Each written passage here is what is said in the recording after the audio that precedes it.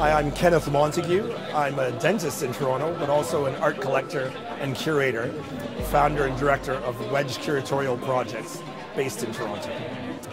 Well, I grew up, uh, I was born and grew up in Windsor, Ontario, across from Detroit. My parents were from Jamaica, and they were very artistic. And uh, my dad was actually doing a master's in industrial arts uh, in Detroit. Uh, it was the 1960s I was born in, and it was an era of kind of black empowerment, mostly in, the, in America, this sort of uh, black power movement really informed my view of what I considered art. And so I would go to the Detroit Institute of Arts even as a 10 year old uh, in the 70s and sort of like really uh, get into the moment of you know seeing these images of uh, African Americans that seem kind of impossibly sophisticated to me, like people you know in Harlem in the 1920s and so forth. And it set me on a journey of discovery or self-discovery about black culture around the world. So photography was an accessible thing to someone who didn't have any formal art training.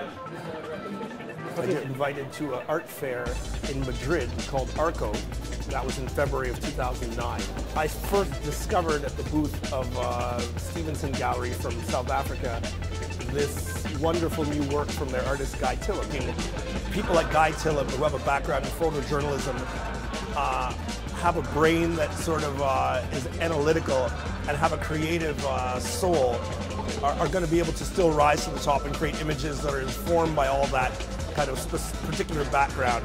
And of course, him being African is also essential to the, the particular vision of Africa that he creates. So it's an example, Guy Tillim still moves us in a way that if, say, you or I were taking these pictures, I'm not sure we'd get that same feel, that same uh, kind of uh, depth and quality that he's achieving.